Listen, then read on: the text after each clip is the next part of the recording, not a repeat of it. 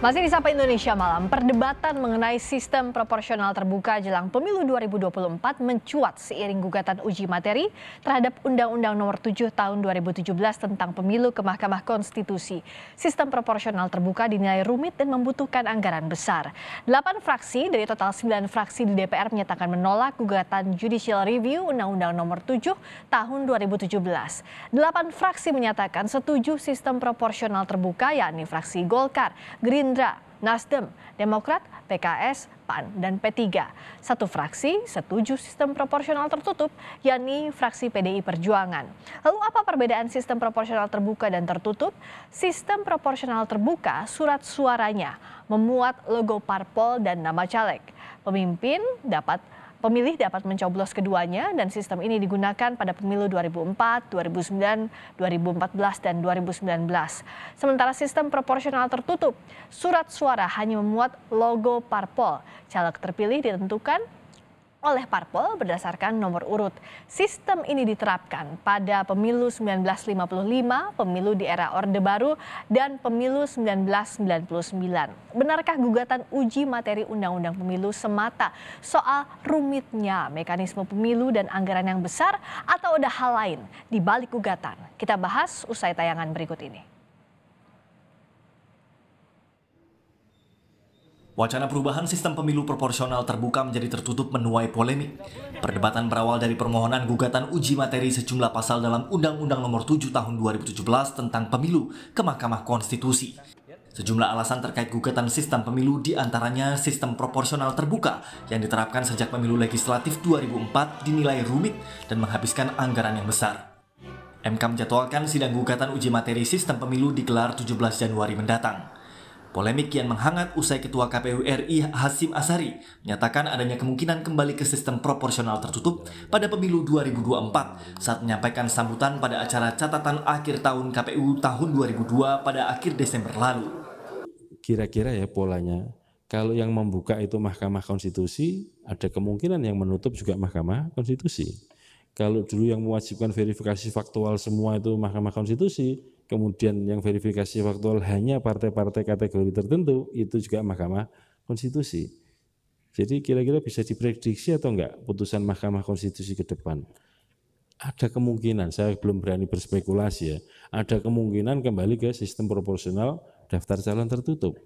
Maka dengan begitu menjadi tidak relevan. Misalkan saya mau nyalon pasang gambar-gambar di pinggir jalan menjadi nggak relevan karena namanya nggak muncul lagi di surat suara dan nggak akan nyoblos lagi nama-nama calon yang akan dicoblos hanya tanda gambar partai politik sebagai peserta pemilu.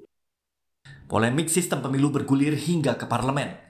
Sebanyak delapan fraksi dari total sembilan fraksi di DPR kompak membuat pernyataan sikap menolak pemilu 2024 kembali menggunakan sistem proporsional tertutup atau hanya mencoblos lambang partai. Delapan fraksi tersebut mendukung sistem proporsional terbuka, yakni fraksi Golkar, Gerindra, Nasdem, PKB, Demokrat, PKS, PAN, dan P3. Satu-satunya fraksi yang mendukung kembali ke sistem proporsional tertutup hanya fraksi PDI Perjuangan. Para petinggi partai politik kini ramai bicara soal penolakan partai terhadap sistem proporsional tertutup. Kepala Badan Komunikasi Strategis DPP Partai Demokrat Hersaki Mahendra Putra menyatakan, Partai Demokrat menolak keras sistem proporsional tertutup yang dianggap memundurkan demokrasi dan melanggengkan politik kekuasaan. Demokrat menolak keras upaya untuk mengembalikan sistem pemilu proporsional tertutup dari sistem proporsional terbuka yang saat ini digunakan. Ini sama saja memundurkan kualitas demokrasi, mengembalikan politik sentralisasi kekuasaan dan menafikan kerja keras para kader partai politik yang telah membina konstituennya selama ini. Janganlah kemudian kita membuat rakyat, para pemilih semakin berjarak kembali dari wakil rakyat yang dipilihnya dengan mengganti sistem pemilihan kembali ke sistem proporsional tertutup. Kami juga berharap janganlah kemudian wacana yang dimunculkan ini digunakan sebagai alasan untuk bisa menunda pemilu Senada dengan Demokrat, Ketua Fraksi PKS DPR RI Jasuli Juwaini menyatakan PKS menolak sistem proporsional tertutup karena dianggap sebagai kemunduran demokrasi. PKS tetap eh, memperjuangkan bagaimana sistem pemilu itu dengan cara proporsional eh, terbuka dan menolak eh, dengan sistem pemilu tertutup. Kenapa? Pertama kita harus menjaga demokrasi ini semakin uh, berkualitas. Demokrasi semakin berkualitas itu ketika ruang rakyat lebih leluasa uh, untuk terlibat dalam proses uh, demokrasi ini.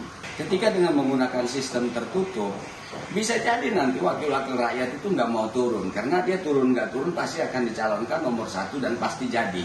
Jadi Jangan setback demokrasi, jangan kembalikan demokrasi. Demokrasi harus semakin maju, rakyat harus semakin dihormati dan dihargai suaranya serta kita jaga sama-sama. Seluruh komponen bangsa berkewajiban untuk membangun kualitas demokrasi semakin baik. Sementara itu, Wakil Ketua Umum Partai Gerindra Habibur Rahman menyatakan Gerindra mengikuti dan menyesuaikan diri dengan apa pun keputusan Mahkamah Konstitusi terkait sistem pemilu 2024. Partai Gerindra tentu akan mematuhi apa pun putusan Mahkamah Konstitusi. Jika diputus sistem proporsional terbuka, kami akan ikut dan jika diputus tetap apa berubah menjadi sistem proporsional tertutup, kami akan menyesuaikan diri.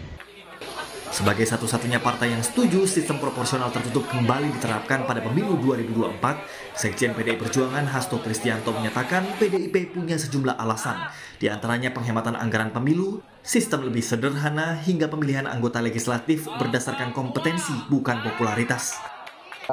Penghematan sistem menjadi uh, lebih uh, sederhana dan kemudian kemungkinan terjadi manipulasi menjadi kurang dan dulu kan begitu banyak penyelenggara pemilu yang karena uh, terlalu capek akibat pemilu yang begitu kompleks itu nanti semua bisa uh, dicegah. Dan yang penting kami bisa mendorong kaum akademisi dari perguruan tinggi, tokoh-tokoh agama misalnya, tokoh-tokoh purnawirawan itu dengan mekanisme proporsional tertutup lebih memungkinkan bagi mereka uh, untuk uh, didorong uh, terpilih. Karena base-nya adalah kompetensi jadi proporsional tertutup itu base-nya adalah uh, pemahaman terhadap fungsi-fungsi dewan. Sementara kalau terbuka adalah popularitas.